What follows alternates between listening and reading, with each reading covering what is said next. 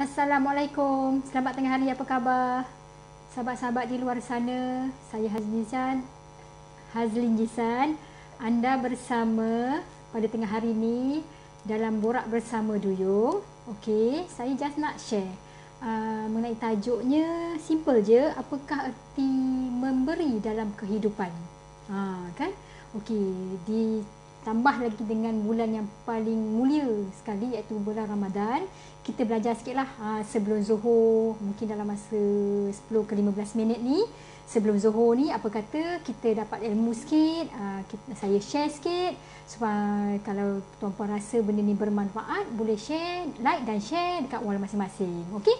So biasanya kalau uh, yang ini uh, saya memberi pendekatan pada, kepada apa yang saya faham eh. Okey, saya bukan ustazah tapi saya juga adalah salah seorang uh, manusia hamba Allah yang saya rasa saya nak share. Okey, supaya apa? Supaya bila saya buat benda ni, saya pun study, saya pun baca dan bila benda ni jangan teori aja, benda ni kena praktikal. Betul? Okey. So yang first kali saya suka nak share apa dia erti memberi. Memberi itu bermaksudnya kita ada sesuatu yang lebih pada diri kita. Ataupun mungkin ada juga yang kurang. Dari segi apa? Dari segi tenaga, dari segi uh, apa tu uh, il, uh, memberi dari segi ada ilmu, uh, ilmu ilmu hidup. Okey, dari segi kemungkinan ada juga mereka yang uh, boleh memberi dari segi uh, kelebihan dari segi uh, fizikal iaitu keuangan ataupun harta. Okey. So saya suka nak share hari ini uh, saya definisikan ada tiga cara yang kita boleh memberi eh. Kita jangan kita boleh memberi. Yang first kali ialah kita memberi dengan cara memberi ilmu dan juga memberi idea dari segi mana? Dari segi melalui perkongsian ilmu. Okey, contoh yang saya nak buat ni ialah simple saja. Iaitu saya hari ni saya buat live ni. Inisiatif kami uh, tim farmasi Duyung nak buat live uh, untuk apa? Untuk membuat perkongsian ilmu melalui online. Dalam masa sama alhamdulillah kami juga memberi perkongsian ilmu melalui offline di mana kepada pelanggan-pelanggan kami yang datang dekat farmasi. Okey, yang tu ini tidak tertakluk kepada farmasi sahaja. Uh, tuan-puan boleh buat perkongsian ilmu melalui macam ni.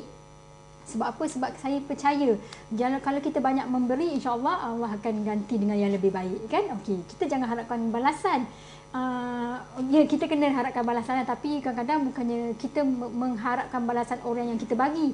Mungkin orang lain sebenarnya yang men- akan membantu kita. Betul? Okey. So uh, yang first kali yang saya suka nak share ialah perkongsian kalau tuan-puan ada ilmu ada idea. Uh, so benda tu sebenarnya tuan-puan boleh kongsi. Sebab apa? Sebab benda tu orang kata benda yang selagi beri manfaat kepada manusia, kepada orang di sekeliling kita, insyaAllah adalah keberkatan dekat situ. Okey?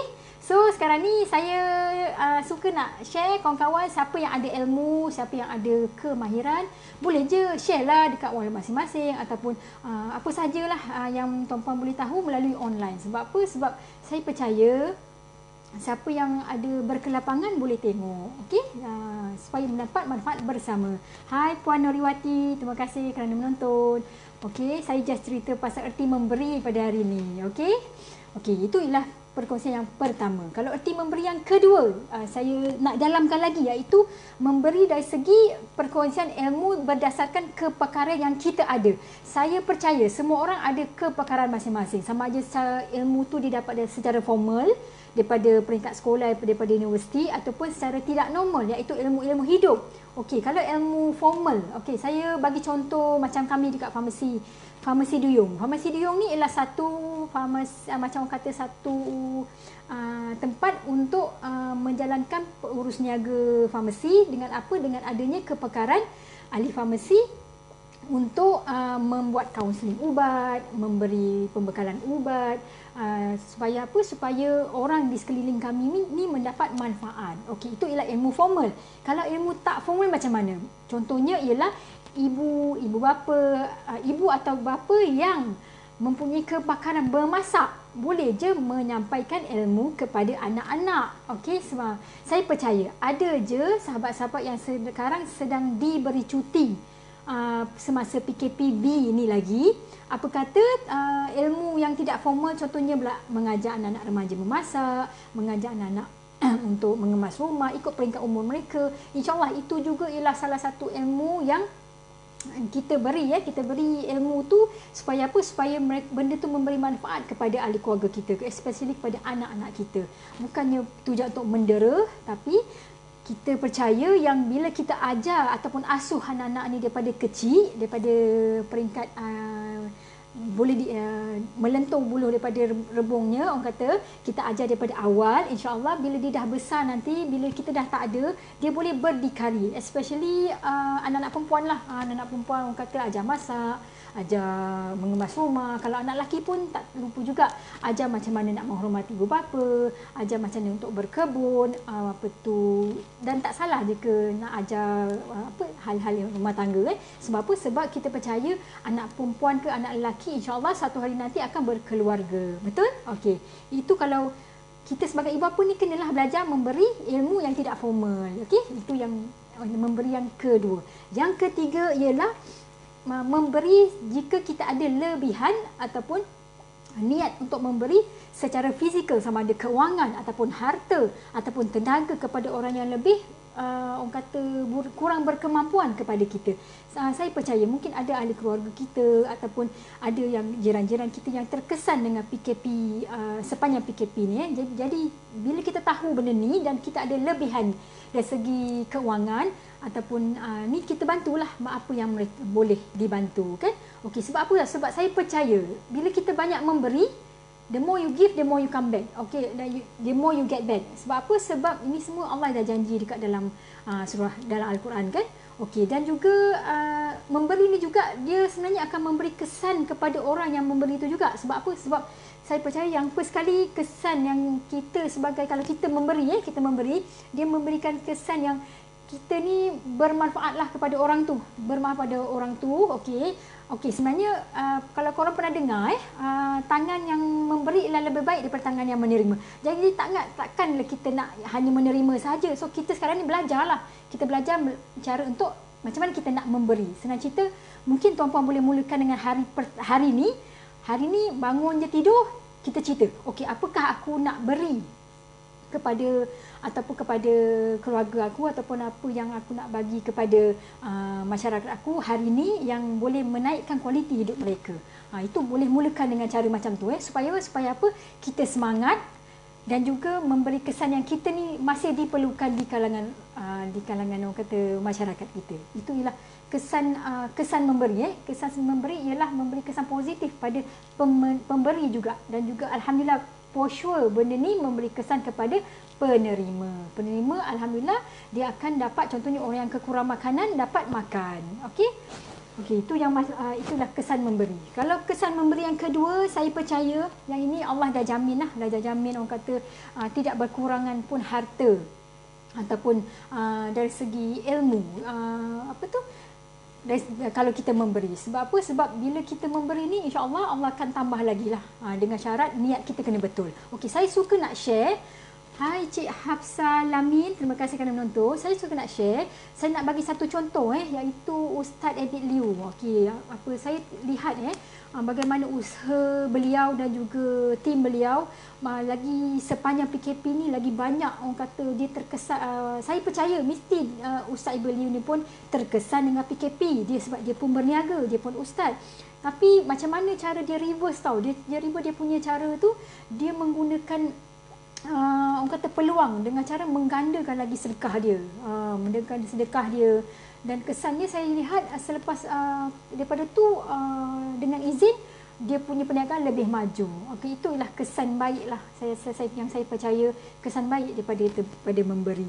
Dan juga kalau uh, pendekatan lain contoh lain ialah contoh kalau kita sebagai majikan kalau kita sebagai majikan kalau uh, apa kata kalau kita sebagai majikan kita banyak kalau juga memberi memberi dari segi apa tau memberi dari segi orang kata uh, perkhidmatan uh, memberi uh, tunjuk ajar yang baik kepada kita punya pekerja. Itu satu. Lepas tu memberi orang kata budi bicara. Kalau waktu sekarang ni tengah Uh, apa tengah bulan puasa ditambah lagi dengan PKP apa kata memberi kelonggaran sedikit kepada pekerja untuk uh, waktu percepatkan waktu perniagaan. Sebab apa? Sebab uh, ini sajalah orang kata cara-cara yang kita boleh fleksibel uh, untuk apa untuk bagi uh, kesan kepada pekerja kita seronok bekerja dengan kita okey dan kesan uh, kalau kepada pekerja pula pekerja pun kenalah ada mindset yang bagus juga. Mindset macam mana memberi apa uh, niat kepada diri sendiri untuk memberi uh, himat nasihat eh sorry himat kerja yang lebih baik macam mana nak buat kerja lebih cepat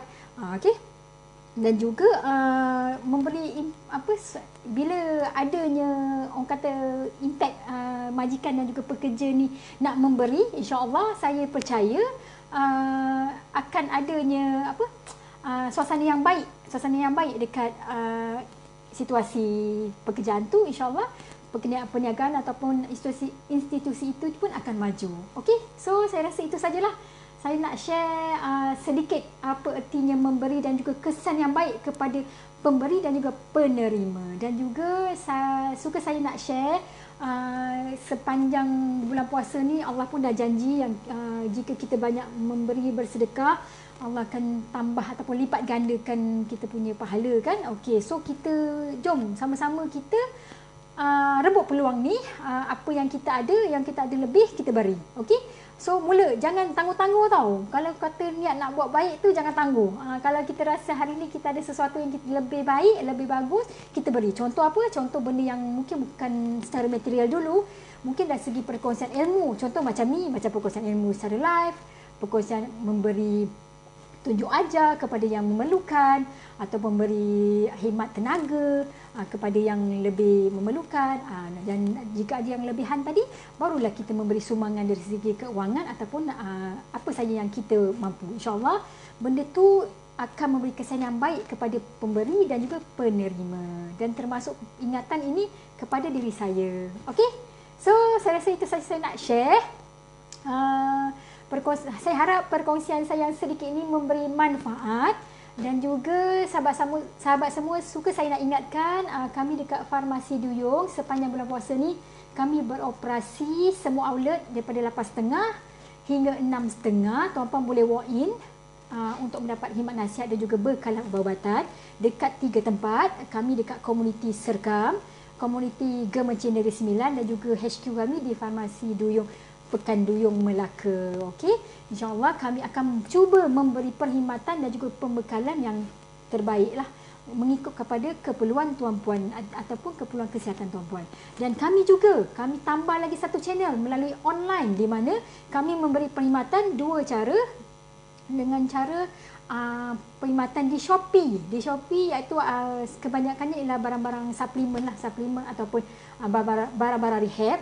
Tuan-puan boleh mendapatkan barangan melalui Shopee dekat Farmasi Diong di Shopee dan juga melalui delivery service di mana kalau uh, tuan-puan tak tahu macam mana nak buat, komen saja di bawah. InsyaAllah saya dan juga tim customer service kami akan membantu. Okey?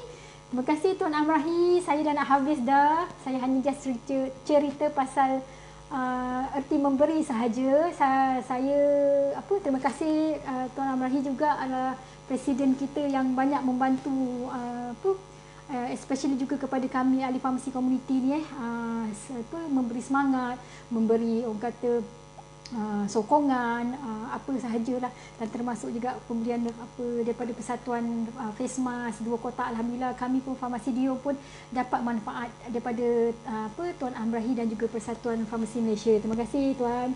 Okey. So saya rasa itu saja saya nak share uh, perkongsian uh, saya sebelum zuhur ni. Saya doakan tuan-puan semua sihat, selamat, kita jaga kita dan juga semoga uh, mendapat manfaat. Okey? Itu sahaja. Ingat anda sihat, kami gembira. Assalamualaikum. Terima kasih.